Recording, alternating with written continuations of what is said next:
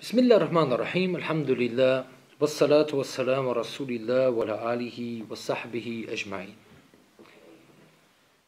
Seit ich Muslim bin und sogar schon davor habe ich immer wieder erlebt, wie christliche Missionare versuchen, den Islam schlecht zu machen, indem sie versuchen, vom Propheten wassalam, bestimmte Dinge zu erwähnen, wie zum Beispiel, dass er Kriege geführt hat, dass er Aisha geheiratet hat, als sie ziemlich jung war für heutige Verhältnisse und so weiter und so fort. Und damit versuchen sie, den Islam schlecht zu machen und den Muslimen einzureden, guck mal, Mohammed kann doch gar kein Prophet gewesen sein, der hat dieses und jenes gemacht. Der hat Kriege geführt, der hat schlechte Taten gemacht, laut, laut ihrer Meinung. Und viele Muslime fühlen sich, äh, werden damit konfrontiert und wissen nicht, wie sie darauf antworten sollen. Sie, und sie leugnen dann vielleicht sogar einige Geschichten, ja. Äh, zum Beispiel die Geschichte von Banu Qurayza, ja, wo der Prophet hunderte Juden getötet hat, exekutiert hat. So, und da muss man einfach sagen, das ist eine spezifische, eine spezielle Situation gewesen, die stattgefunden hat. Aber warum erwähnt ihr das erwähnt aber nicht, was diese Leute von Banu Qurayza vorher gemacht haben und dass sie bald dazu, dass sie bald die Muslime ausgerottet hätten, dass bald die Muslime durch, durch die Hilfe von Banu Qurayza ausgerottet worden wären. Wenn ich ein, von einem, einem Krieg schildere und ich erzähle nicht die ganzen Umstände, was zum Krieg geführt hat, was beide Parteien gemacht haben, und ich erzähle einfach nur eine Seite, ja, dann ist das eine perfekte Geschichtsfälschung. Stellt euch mal vor, ich würde sagen, im Zweiten Weltkrieg haben die Russen so und so viele hunderttausend Deutsche getötet. Und lasse das so stehen. Beispielsweise in 100 Jahren bei jemandem, der absolut keine Ahnung hatte, was, was dort überhaupt vorher passiert ist. Dass die Deutschen vorher die Aggressoren waren, dass die Deutschen 25 Millionen Menschen auf dem Gebiet der Sowjetunion getötet haben. Stellt euch das mal vor. Das wäre die perfekte Geschichtsfälschung. Das heißt, man erzählt erstmal, wer angefangen hat, was genau passiert ist und dann erzählt man am Ende, wer getötet wurde. Warum erzählen sie nicht, dass Leute, die sich an dem Krieg nicht beteiligt haben, nicht getötet wurden, sondern nur die, die mit an dem Verrat gegen den Propheten beteiligt waren, die den Vertrag gebrochen haben. Und natürlich muss man das auch im Gesamtkontext sehen, im Gesamtkontext sehen, dass der Prophet wassalam, in den überwiegenden Geschichten Gnade walten lassen hat. Bei der Eroberung von Mekka, die die ihn bekämpft haben, was hat er gesagt? Geht, denn ihr seid frei. In so vielen Geschichten wurde das erwähnt. Der Prophet wassalam, ja, bei, äh, bei einer Schlacht stand jemand vor ihm mit einem Schwert. Das heißt, der Prophet hat unter einem Baum geschlafen, hat sein Schwert aufgehangen. Da kam einer von den Feinden, hat das Schwert genommen und hat gesagt, wer kann dich jetzt vor mir schützen? Hast du Angst vor mir? Der Prophet sagt, nein. Wer kann dich jetzt vor mir schützen? Er sagt, Allah. Oder dreimal Allah und das Schwert fällt ihm aus der Hand. Der Prophet nimmt das Schwert und sagt, wer kann dich jetzt vor mir schützen? Und dann sagt dieser Mann, ja, dass er, also dass, ihn, also dass er den Islam nicht annehmen wird, dass er aber ihn nicht bekämpfen wird und keinem helfen wird, der ihn nicht bekämpft. Und dann lässt der Prophet ihn frei und lässt ihn laufen. Warum erzählt man diese Geschichten nicht? Das heißt, diese christlichen Missionare, diese Hardcore-Christen, die nehmen ganz selektiv irgendwelche Verse raus, irgendwelche Geschichten raus, lassen andere aus. Ja, um die Muslime, die wenig Wissen haben, durcheinander zu bringen. Was können wir Muslime tun? Weil natürlich, wir wollen den Propheten والسلام, verteidigen. Und es gibt so viele Geschichten, die erzählt werden. Viele davon sind gelogen. Alle davon sind in einem falschen Kontext genannt worden, wie ich das eben schon erwähnt habe. Ja? Wenn man sagen würde, die Alliierten haben im Zweiten Weltkrieg so, so viele Deutsche umgebracht, ja, dann würde man sagen, was sind das für Verbrecher? Wenn man das aber in den historischen Kontext setzt und erzählt, dass die, was die Deutschen vorher gemacht haben, dann sieht die Geschichte ganz anders aus. Ja, und das ist diese typisch hardcore-evangelikale, hardcore-christliche ähm, Geschichtsfälschung, was den Islam angeht. Aber der Witz an der ganzen Sache ist folgendes. Und das ist etwas, was ich jedem immer ans Herz binde, in der Dauer. Wenn ihr mit jemandem diskutiert und er bringt ein Argument, musst du dir zwei Fragen stellen. Was will diese Person damit sagen und was ist diese Person, beziehungsweise was glaubt diese Person? Wenn jetzt ein Christ kommt und er sagt, Mohammed hat dieses gemacht, Mohammed والسلام, hat jenes gemacht. Was will er damit sagen? Er will damit sagen, Mohammed والسلام, kann ja gar kein Prophet gewesen sein, weil er ja schwere Sünden gemacht hat. Das möchte er damit sagen. Ne? Natürlich, äh, wir widerlegen das und wir glauben das nicht. Aber so weit brauchen wir gar nicht zu gehen. Warum? Weil er ein Christ ist. Wie, weil er ein Christ ist? Ja, weil er ein Christ ist. Wie Abu Hamza, weil er ein Christ ist. Was willst du uns jetzt damit sagen? Weil ein Christ ist, müssen wir gar nicht äh, großartig jetzt da etwas verteidigen. Warum? Ja, ganz einfach. Weil die Christen selber nicht glauben, dass es eine Bedingung ist, um ein Prophet zu sein, dass man sündenfrei ist. Das glauben die Christen gar nicht. Das heißt, das ist eine islamische Akida. In der islamischen Glaubensüberzeugung ist es so, dass die Propheten freigesprochen werden müssen von großen Sünden, von Schirk und so weiter. Aber im, im Christentum ist das nicht so. Es kann jemand eine göttliche Offenbarung bekommen und ist der größte Götzendiener. Es wird von Suleiman erwähnt, dass er verführt wurde, Götzen zu dienen. In der Bibel. Und ich erzähle, ich erzähle, von daher ist das die pure Heuchelei und eigentlich ist dieses Argumentationsmuster ein Beweis, dass die Christen in ihrem Herzen selber wissen, dass ihre Religion falsch ist. Diese Missionare.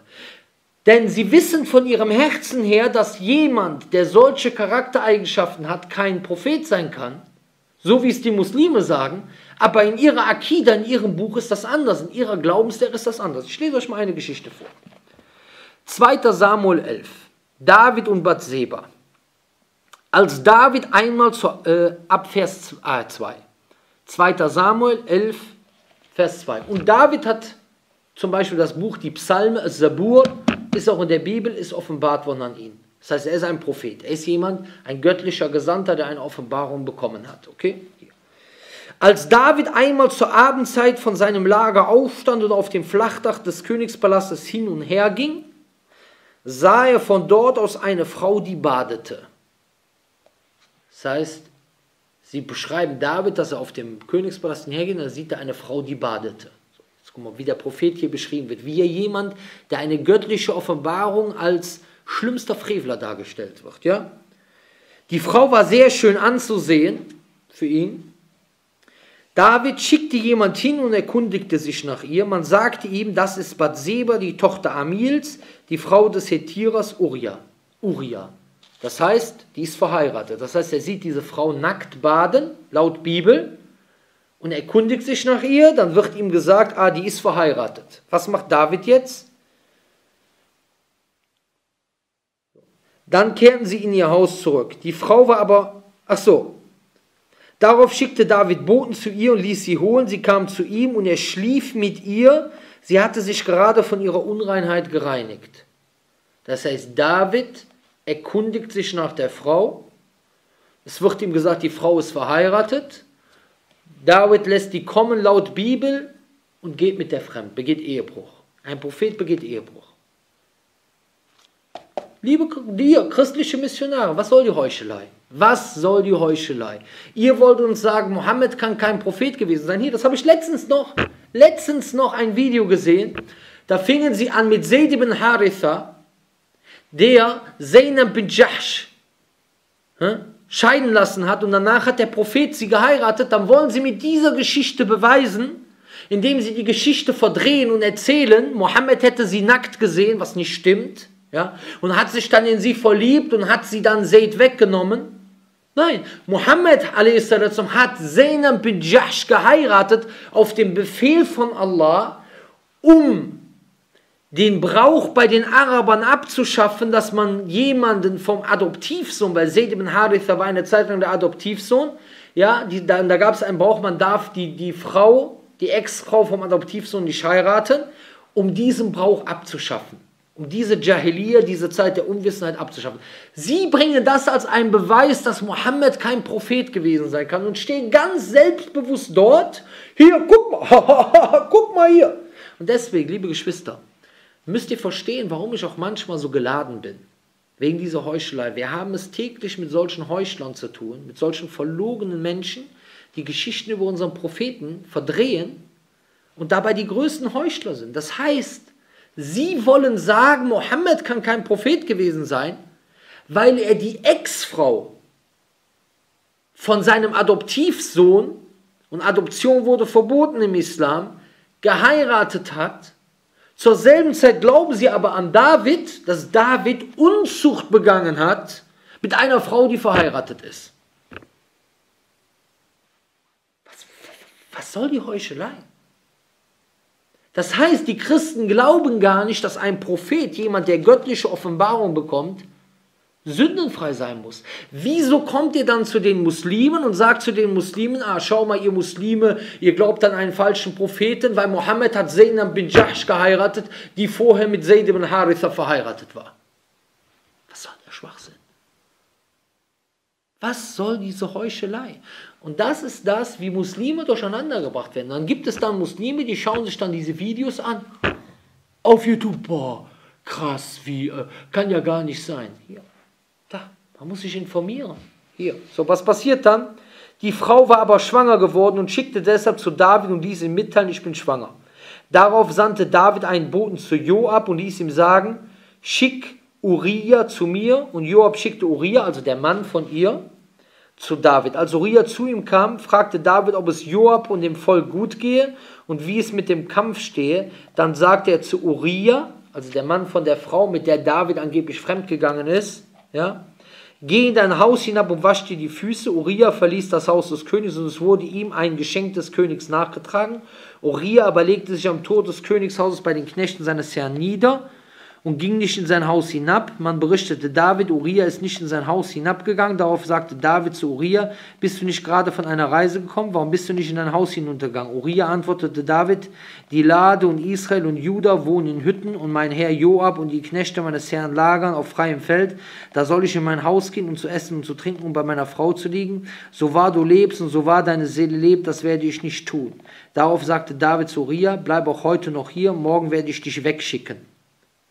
Morgen werde ich dich, also morgen wird er ihn wegschicken. Den Mann, mit dessen Frau David angeblich fremdgegangen ist. So, wo schickt ihr ihn denn hin?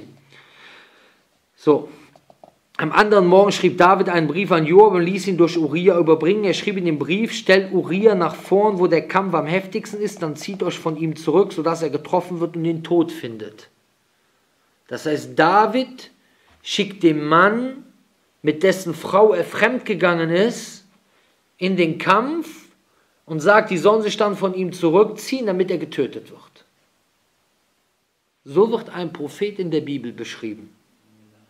So wird ein Prophet in der Bibel beschrieben. Und deswegen sagen wir auch, die Bibel ist gefällt, weil das ist kein Prophet.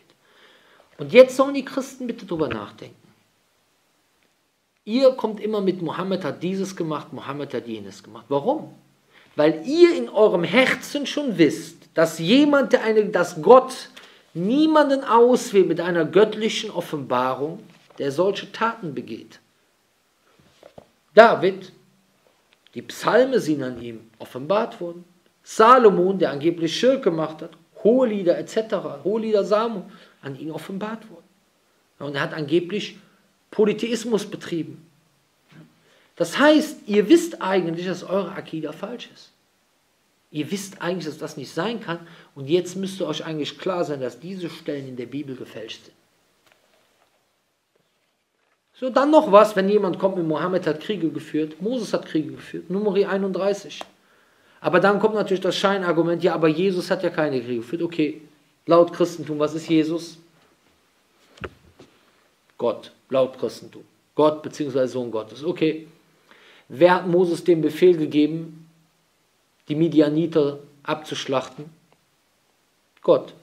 Wer ist Gott laut Christentum? Jesus. Also hat Jesus den Befehl gegeben, die Midianiter abzuschlachten. Punkt.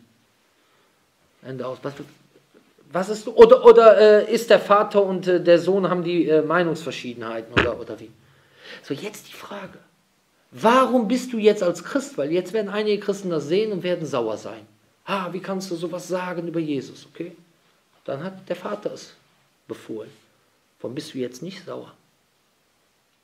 Warum bist du sauer, wenn ich sage, Jesus hat das befohlen, aber wenn ich sage, der Vater hat es befohlen, bist du nicht sauer? Was ist los? Merkst du was? Merkst du was? Das ist ein Widerspruch. Wir können noch andere Sachen nennen, ja? von Unzucht, von Inzucht, dass Lot mit seinen Töchtern schläft und so weiter. Alles in der Bibel vorhanden. Alles in der Bibel vorhanden. So. Ich, warum sage ich das den Muslimen? Liebe, liebe Geschwister, wenn euch jemand konfrontiert mit Geschichten vom Propheten, sagt nicht sofort, nein, das stimmt nicht, das ist eine Lüge, sagt erstmal, ich muss erstmal gucken, wie das genau war Gib mir mal die Stelle, gib mir mal den Hadith, gib mir mal die Geschichte und dann frage ich jemanden, wie das genau gewesen ist und welche Weisheit dahinter steckt. Denn der Prophet والسلام, ist der auserwählte, beste Mensch, den Allah jemals gesandt hat. Und wenn dann jemand kommt mit, ja, aber Aisha war so jung gewesen, dann sagen wir ihm, das war damals eine ganz andere Zeit. Und Aisha hat sich nicht beschwert. Und die Gesellschaft damals hat sich nicht beschwert, weil es in dieser Zeit ganz normal war. Und warum soll es schlecht sein, dass er eine Frau heiratet, die besonders jung ist? Warum ist, es, warum ist das hier schlecht? Und das ist zu Recht schlecht, weil dieses Mädchen einen Schaden dadurch erlangt.